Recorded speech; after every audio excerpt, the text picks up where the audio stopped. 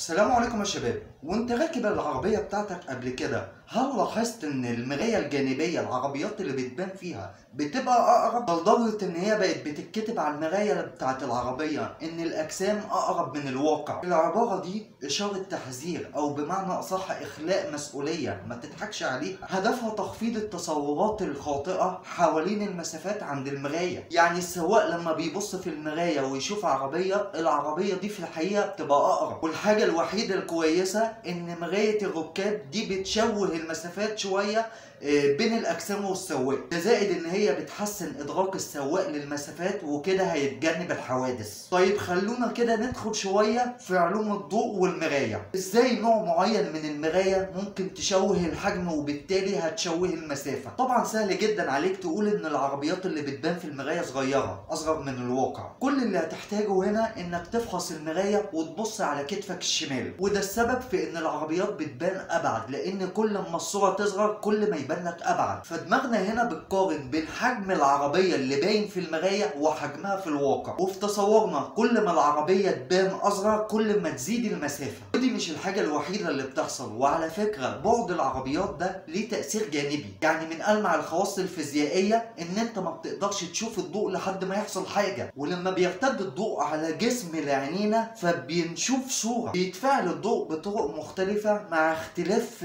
سمات الأسطح اللي بيسقط عليها زي الملمس اللون وده بينتج بيانات بصرية بتفسرها عينينا زي صور. لما بينعكس الضوء من على صورة مثلا في مراية مسطحة فبيرتد في نفس الاتجاهات اللي ضربها وما بيتغيرش مسار الضوء المرتد لعينينا اللي جايب معاه بيانات الصورة دي. وبعد كده عينينا بتبني صورة الجسم ده بشكل مطابق للواقع. انحناء المراية بقى بيغير مسار الضوء المنعكس لعينينا. يعني لو حنيت المراية وبقت محدبة كده وده فعلا اللي في العربيات ده اللي في المراية بتاعت العربيات. فهنا لما الضوء يسقط على المراية فالمراية هتغير تصرف الضوء. هينعكس الضوء لعينينا بمسار كده مش متغير نسبيا. لأن الضوء بيضرب المراكز اللي هي بعيدة في المراية مش مش المركز المحدب نفسه. وساعتها هيحصل تباعد وانتشار لأشعة الضوء المنعكس قبل ما توصل لعينينا. فلو الضوء بقى هينزل على مراية العربية. لو أشعة الضوء جاية وجايبة معاها صورة عربية فالأشعة دي بتسافر بره قبل ما توصل عينك. فعلشان كده العربية اللي انت شفتها بعينك مش هي العربية اللي اتعكست عن طريق الضوء. يعني مش في نفس الموقع اللي ظهر لعينينا بالظبط.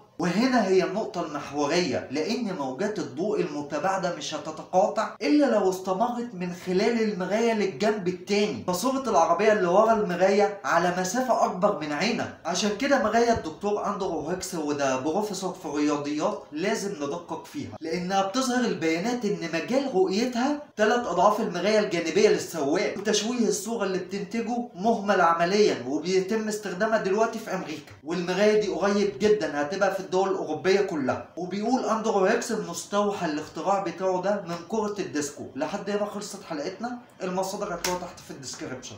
السلام عليكم.